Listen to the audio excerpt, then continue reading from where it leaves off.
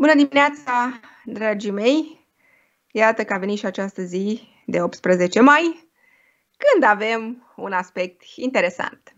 Avem un careu între Jupiter și Pluto, care aduce un risc de a-i manipula pe ceilalți, de a-i controla, de a ne împrăștia puterea, din astea, știți?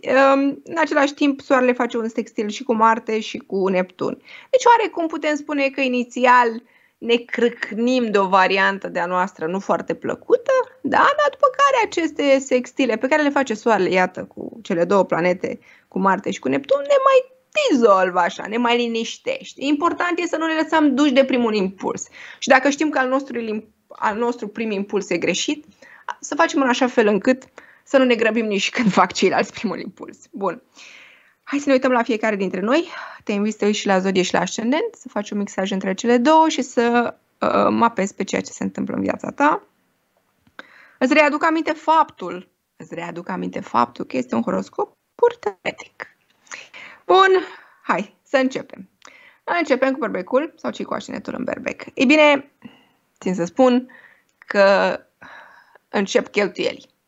Sau începe dorința ta de a investi în ceva. Aș prefera să investești în ceva care să producă bani.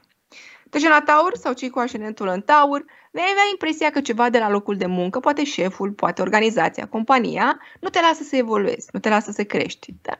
Nu mai bine te gândești ce ai putea tu să faci să depășești acest moment. Trecem la gemeni sau cei cu ascendentul în gemeni.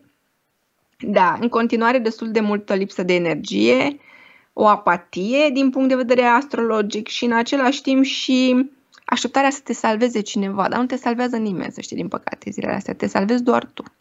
Deci în rac sau cei cu ascendentul în rac um, nu ar strica, da, nu ar strica, dragii mei, să vă gândiți că Marte mai stă câteva zile în semnul vostru. Puține, că pe 20 intră în leu. Și că poate e un moment să vă vină sângele uh, peste tot, să să palpați așa efectiv, să vibrați și să luați niște decizii. Cu furie, cu agresivitate, dar să le luați în sfârșit. Deci în aleu, sau cei cu ascendentul leu, e bine, careul de astăzi, uh, bineînțeles, vă influențează. Pentru că dacă îi, uh, îi permiteți mai mult partenerului să se implice în, în profesia voastră, în cariera voastră, pe moment veți avea impresia că e de bine, dar pe urmă vă supărați și vă supărați și pe el, și pe ce se întâmplă la serviciu, dar și pe voi. Deci, nu lăsa să intervină mai mult decât este cazul. Trecem acum la fecioară sau cei cu ascendentul în uh, fecioară.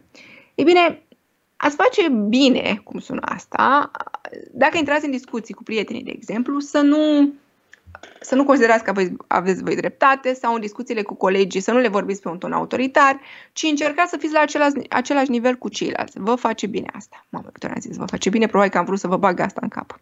Deci în la balanță sau cei cu ascendentul în balanță.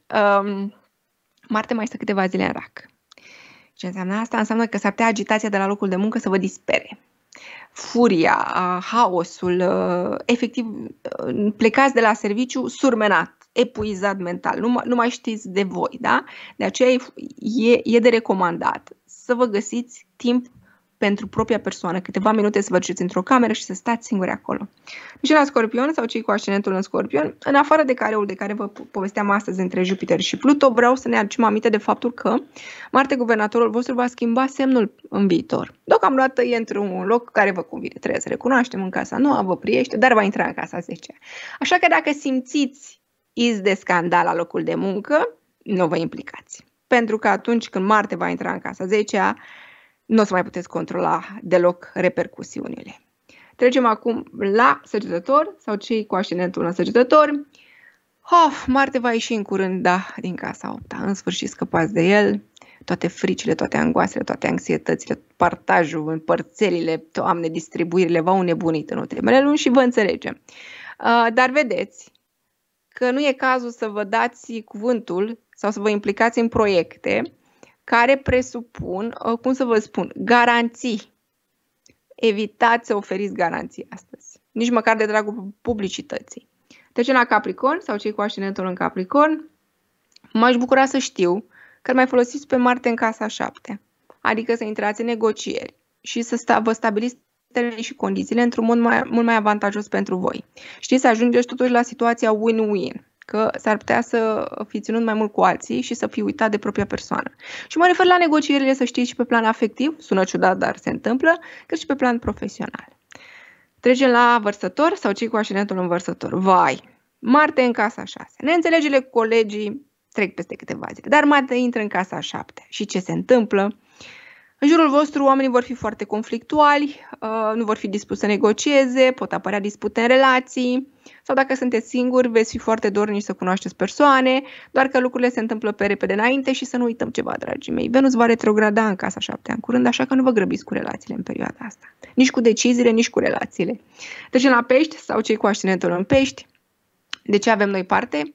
Păi avem parte, dragii mei, uh, de acest Marte care se pregătește, o să vă spun și zilele următoare despre, se pregătește să iasă din casa 5, să se ducă în casa 6 și ne uităm la faptul că Jupiter, guvernatorul vostru, face careul cu Pluto.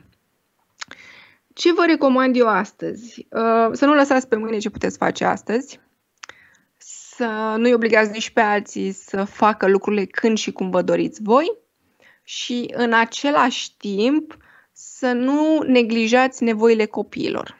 Mare grijă acolo. Să vă priască recomandările mele și să ne vedem cu bine mâine.